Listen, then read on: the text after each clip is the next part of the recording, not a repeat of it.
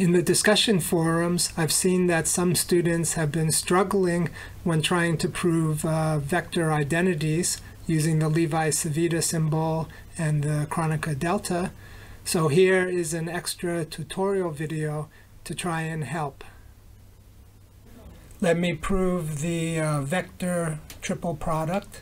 So A cross parentheses B cross C equals A dot C times the vector B minus A dot B times the vector C. So this is a vector identity. So to prove this identity, we need to prove it for all three components or prove it for an arbitrary component uh, with index i. So we start by writing the left-hand side, and then we're going to do some manipulations to see if we can recover the right-hand side.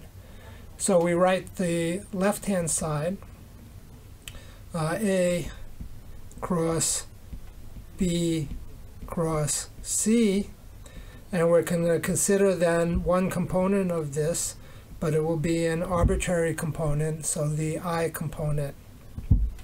Uh, we're going to write this this is a cross product, so we're going to write this using the Levi-Civita symbol. Uh, the index of this um, cross product is i, so we will write that as epsilon sub i, and then jk, summing over j and k. The first vector is a, so that takes the index j. The second vector is b cross c. So the second vector is a cross product. Um, we need the kth index of the second vector. So we can use again the Levi-Civita symbol and have the kth index in the first position.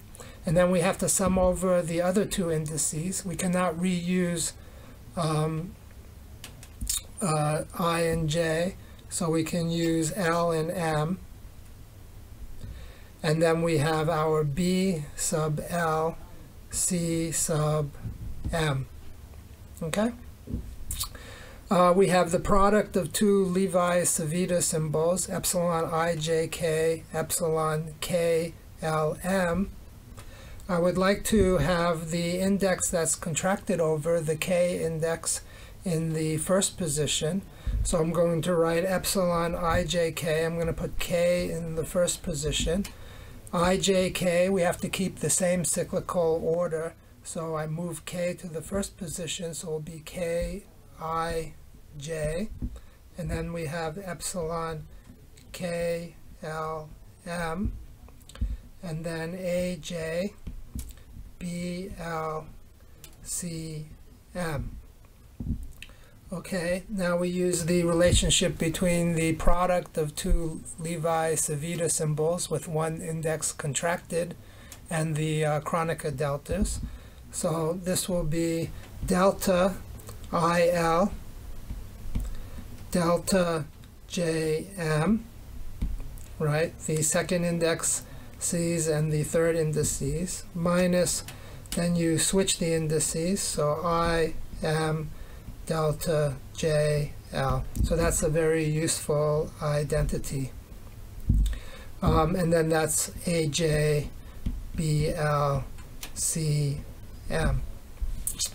Uh, now we contract the uh, Kronecker deltas against the um, vector components.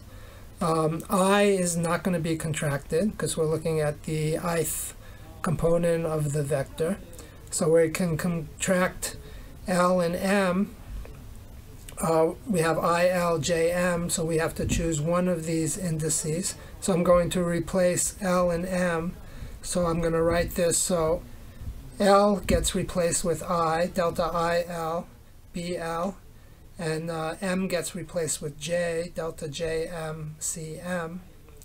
So we will write this then as the first piece will be AJ, we'll leave the J, and then L will be replaced by I, B I, and then M will be replaced by J, C J, minus the second term, so M gets replaced by I and L gets replaced by J, so minus AJ, L gets replaced by J, BJ, M gets replaced by I, C, I. Okay, so we've cleared the Kronecker deltas. Now AJCJ is just A dot C, and AJBJ is just A dot B. So we can replace this as A dot C times BI minus A dot B times CI, right? So you see that this is just the ith component of a vector. So this is A dot C times B vector minus A dot B times C vector, and it's the ith component. So I've proved that A cross B cross C, the ith component, is equal to A dot C times B minus A dot B times C, the ith component. And since that's true for i equals 1, 2, 3, that proves the uh, vector identity. So let me summarize the main steps here. Uh, one, if you're proving a vector identity, you have to prove it for the components for an arbitrary uh, component, here chosen to be the ith component. Two, you need to replace the cross products using the Levi-Civita symbol. Three, if you're contracting the Levi-Civita symbols, it's best to spin the indices so that you're contracting the first index of the Levi-Civita symbols. Then you use uh, the identity relating the contraction of one index of the Levi-Civita symbol to the, the difference between the products of Kronecker deltas. Uh, four, then you contract the Kronecker deltas against the, um, the vector components. Finally, you recognize dot products when you see them, and you would also recognize cross products if you happen to see them.